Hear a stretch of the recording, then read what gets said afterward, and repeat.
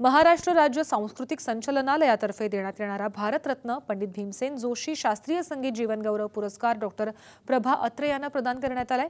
पंडित जसराज यांच्या हस्ते हा पुरस्कार प्रदान करण्यात आलाय. पाच लाख रुपये रोख आणि मानचिन्ह असं या पुरस्काराचं स्वरूप आहे. सांस्कृतिक कार्यमंत्री विनोद तावडेही यावेळी उपस्थित होते. यावेळी बोलताना औरंगाबाद नंतर नाशकात सांस्कृतिक विभागीय केंद्र उभारलं जाईल अशी घोषणा त्यांनी केली. तसंच महाराष्ट्रातील बोलीभाषा आणि लोककलांचं संवर्धन व्हावं यासाठी डिजिटल स्वरूपात हा ठेवा जपला जाईल असंही तावडेंनी स्पष्ट केलं.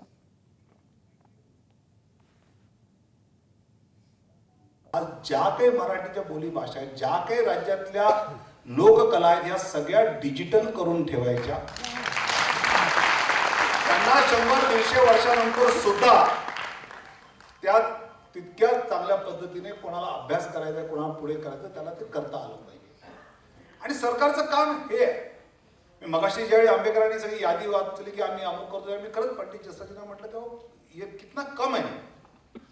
शेवटी हा जो सांस्कृतिक खात्याचा आणि खऱ्या अर्थाने या सगळ्या संगीत विषयात जे सरकार म्हणून केलं पाहिजे